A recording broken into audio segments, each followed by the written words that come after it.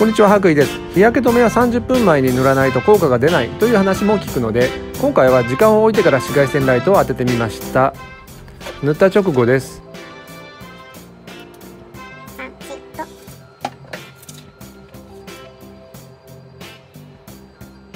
そんなに変わってないと思います。5分5後分後。1234515分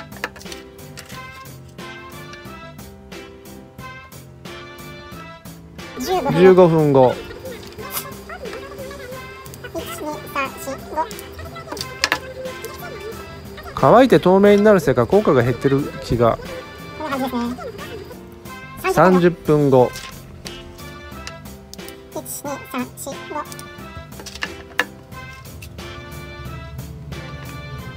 こんな感じですじゃあ1時間後です1時間後12345こんな感じですね。これが1日丸1日後1日後。かぶせます。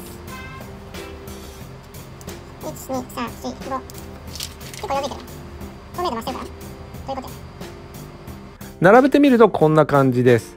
やってみたらこうでしたということなので結果を保証するものではありませんと一応言っておきます。次回は持ち込みで依頼されたオルビスサンスクリーンスーパーです。お楽しみに